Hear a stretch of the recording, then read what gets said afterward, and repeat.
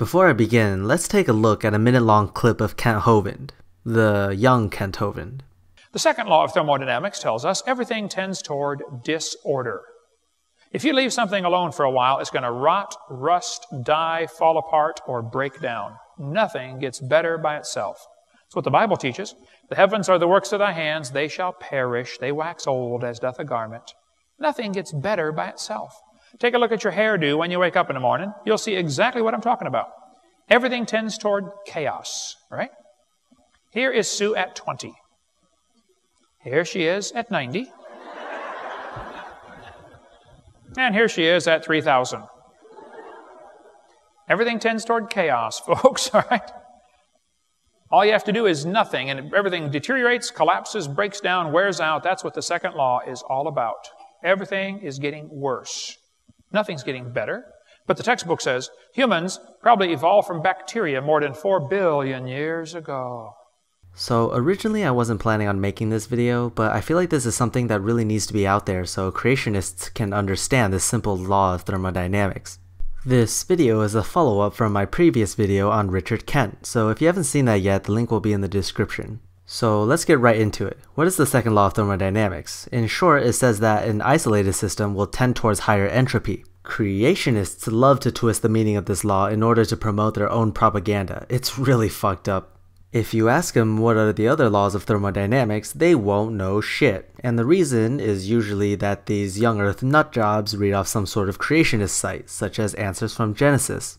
And from there, they read and absorb anything that supports their worldview. And one thing that you find on creationist sites is the second law of thermodynamics. But what about the other laws? They simply don't give a fuck, except for maybe the first one, but other than those two, the other laws don't interest them one bit, and that really says something. These people are ignorant about science. They don't care what science entails and the massive amount of work dedicated to developing an idea, except when a field of science that supposedly supports their position comes along, they jump right into it. If that isn't cherry picking, I don't know what is. So now that that's out of the way, let's get to the meat of the topic. This is how their argument goes. First, they substitute the word entropy with disorder, and then they say that disorder increases over time. Therefore, this disproves evolution, since the increased complexity of organisms claimed by evolution is somehow considered to be more ordered than disordered. The first thing I would like to point out is the irony on how you're using science to disprove science. That is hilarious. You creationists are so funny. But now, let's take a good look at this disorder word. My biggest problem is that you use this word so randomly and without meaning. What is disorder? How can you measure disorder? We can't, it's so ambiguous. Please, stick to the word entropy. Entropy has proper units, joules over Kelvin. We can calculate the amount of entropy in a system and this increase in entropy over time. So, let's see what this law really says. Imagine you have two batteries that store energy. Now, it doesn't have to be batteries, it can be any medium of energy storage. The second law of thermodynamics states that whenever you transfer energy from one system to the next, you won't have 100% efficiency. So when you're using battery A to charge battery B, you can't have full efficiency. Where does the leftover energy go? It is released as heat into the environment. That's why when you charge your phone on an outlet, your phone will heat up because energy is being lost. Heat is very difficult to utilize, and when a system is at equilibrium, you cannot convert this uniformity of heat into useful energy.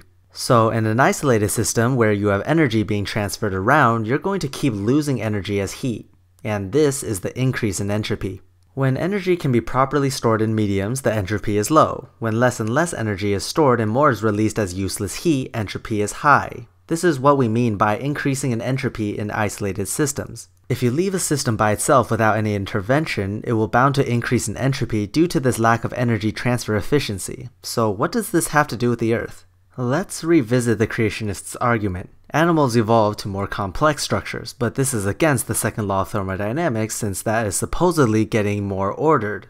Well, no. The law states the efficiency of energy transfer from one medium to the next and how it cannot be 100% efficient. It really has nothing to do with something being more ordered or not. But let's take a closer look. Living organisms on Earth are actually mediums of energy storage. They store energy, and they're awfully good at it. So where does this energy come from? That's right, it comes from the sun. The only way this would violate the second law of thermodynamics is if the energy living organisms obtain from the sun is somehow greater than or equal to the energy the sun gives to us. Is that the case? Hell no. In fact, we see perfectly how living organisms on Earth follow the second law of thermodynamics. This is represented by an ecological pyramid. On the bottom of the pyramid, we have primary producers and primary consumers. Then towards the top, we have secondary and tertiary consumers. Now, you guys probably all know what this means. The producers are any organisms that can harvest energy from the sun, usually by photosynthesis. Primary consumers are organisms that consume these primary producers, such as deer or cows. Then, secondary consumers eat the primary consumers, and so forth. You get the idea. This pyramid illustrates two things. First, it represents the general number of organisms that exist in each of these fields. So, of course, there are more plants than deer, and there are more deer than tigers. This is due to one crucial reason which is related to the second thing that this pyramid represents, energy. The amount of energy circulating the systems lower in the pyramid is greater than the higher ones, and because there's less energy higher up, there are fewer organisms that can exist on the top of the pyramid.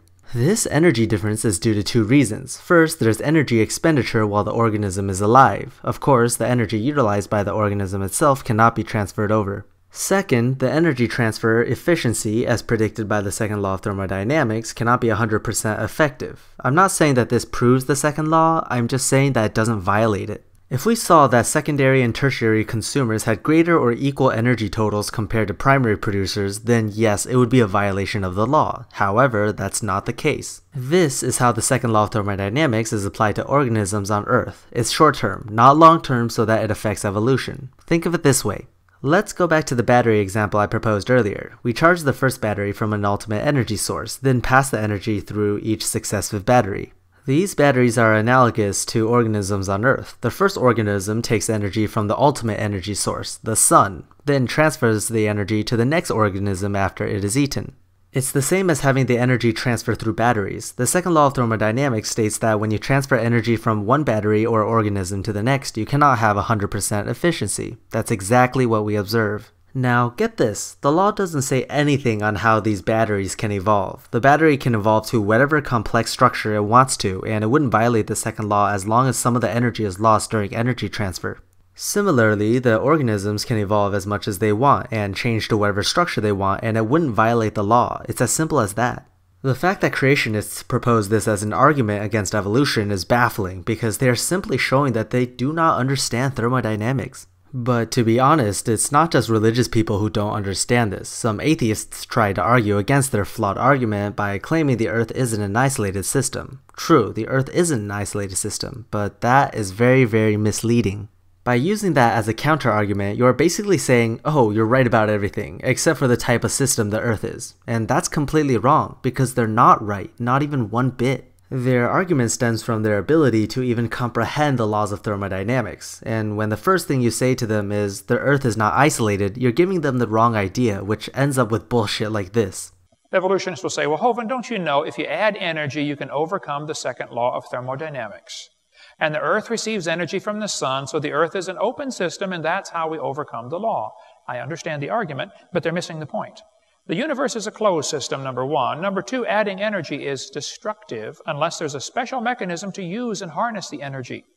See, the Japanese added a bunch of energy to Pearl Harbor one day. They didn't organize a thing for us, did they? So a few years later, we added some energy to a few of their cities, didn't we? You know, returned the favor. Didn't organize anything for them. Adding energy is destructive. The sun adds energy to the roof of your house, but it's going to destroy your house. The sun's energy will destroy the entire house. The sun's energy will destroy the roof on your car. It will destroy your upholstery. The sun's energy will destroy your paint job.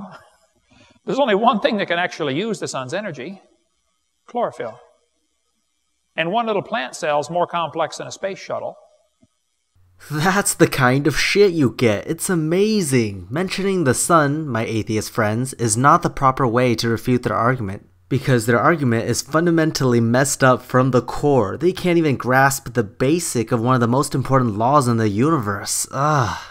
Okay, sorry for the frustration. Before I end this video, I bet you guys want to know what the other laws are, because they are quite amazing as well. The zeroth law states that if one system is in thermal equilibrium with a second system, and the second system is in equilibrium with a third system, then the first and third systems are in equilibrium. Simple enough? The first law states that if there is energy movement in or out of a system, the system's internal energy changes to comprehend. This is a more complicated way of saying energy and matter cannot be created nor destroyed. The third law states that as a substance arrives at absolute zero, its entropy will also approach zero. I bet creationists didn't know all these laws. Anyway, I hope I cleared things up, and I hope you all learned something today. If you did, leave a comment. I take feedback of any kind. See ya.